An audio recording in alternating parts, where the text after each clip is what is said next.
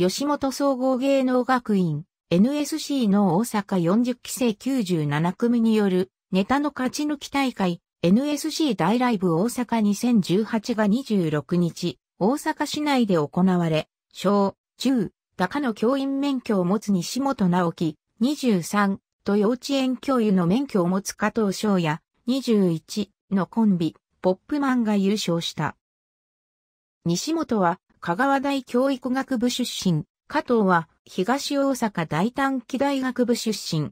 決勝大会 MC の田村健二44が君らで学校を作れるなぁと感心する学歴を持つが、西本はこれから40年間先生をするというのがピンとこなかったと大学卒業後に NSC に入り直した代わりだね。ネタを作っている加藤は高校時代の2014年にハイスクール漫才で準決勝進出の過去を持つ。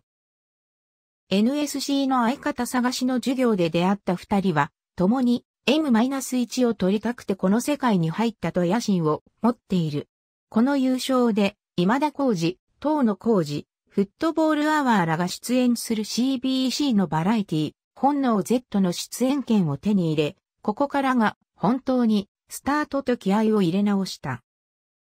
田村は西本のツッコミがうまい。あとはボケの精度を上げていけばと太鼓判を押した。